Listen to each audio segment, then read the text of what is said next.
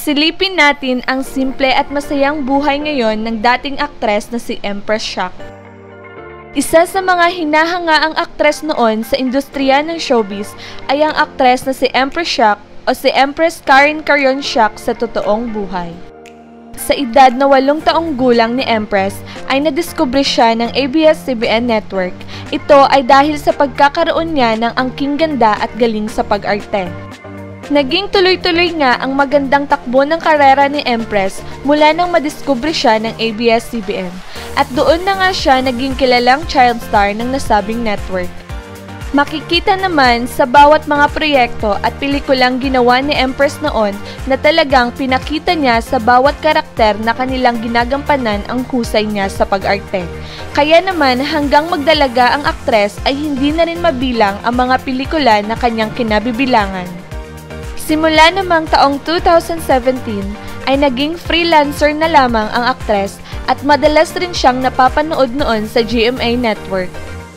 Sa kabila naman ng tagumpay na karera ni Empress Shock noon sa showbiz, ay nagdesisyon ng aktres na pansamantalang mamamahinga sa pagiging isang aktres. Ito ay matapos nga aminin sa publiko na siya ay nagdadalang tao at ang ama nito ay ang kanyang nobyo na si Vino Guengona. Si Vino Guengona ay ang apo ng dating bese-presidente ng ating bansa na si Chufesto Guengona Sr. at pamangkin rin siya ng dating senator Chufesto Guengona III. Ikinagulat naman ng maraming mga tagahanga noon ni Empress ang naging revelasyon niya sa kanyang naging pagbubuntis. Ngunit sa kabila nito ay masaya ang mga ito para sa bagong buhay na tatahakin ng aktres kasama ang magiging anak nito at partner sa buhay. Mas naging makulay nga ang buhay ni Empress Shock nang dumating sa kanyang buhay ang kanyang anak na si Athalia na isinilang nito noong buwan ng Setyembre taong 2015. Sa ngayon ay hindi na nga lumalabas sa telebisyon ang dating aktres na si Empress Shock dahil sa mas pinili nito ang simple at masayang pamumuhay kasama ang kanyang buong pamilya malayo sa showbiz. Isang hands-on mom ngayon si Empress Shock sa kanyang anak na si Athalia.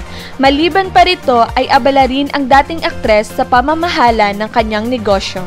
Kahit nga wala na sa larangan ng showbiz na kanyang kinabibilangan noon, ay masaya naman si Empress ngayon sa kanyang buhay dahil nawala man ang kanyang karera at kinang sa pagiging isang aktres ay matagumpay na naman ang kanyang karera sa pagpapatakbo ng negosyo kung saan ayon sa ilang mga ulat ay marami na itong branch sa iba't ibang panig ng bansa.